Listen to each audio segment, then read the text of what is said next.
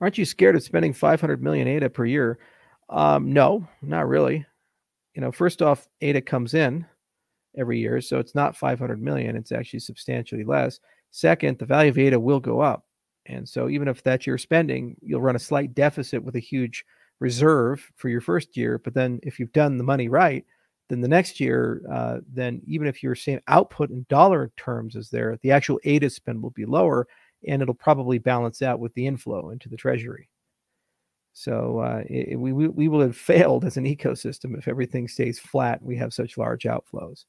You got to be bold. If we're going to win and actually make Cardano the number one standard, um, you have to invest as an ecosystem. And what's really crazy if you say we as an ecosystem are unwilling to invest in Cardano with our own Cardano money, then why would any VC in their right mind come into our ecosystem?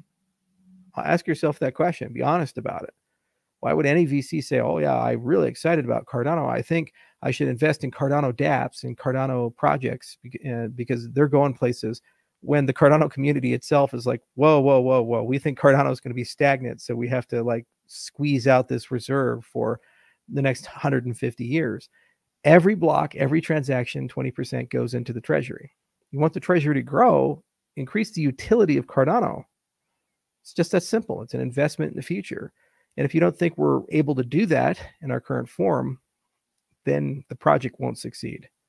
There's just too much on the market to compete with it.